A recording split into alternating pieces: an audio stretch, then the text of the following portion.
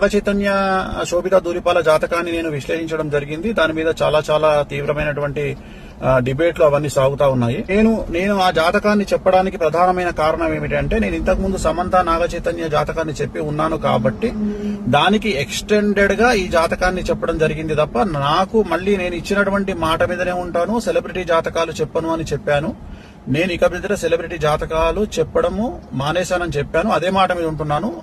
So దానికి ఎందుకు నేను చెప్పాల్సి వచ్చింది అనే క్లారిటీ ఇస్తా ఉన్నా. ఎందుకు చెప్పాల్సి వచ్చింది అంటే దాని ఎక్స్టెండెడ్గా నేను చెప్పడం జరిగింది. దాని ఎక్స్టెండెడ్ అంటే సమంత నాగ చైతన్య అది జరిగింది కాబట్టి నేను దాని ఎక్స్టెండెడ్గా నేను చెప్పడం జరిగింది. సో ఇప్పుడే నాకు మంచు విష్ణు గారు మాట్లాడినారు.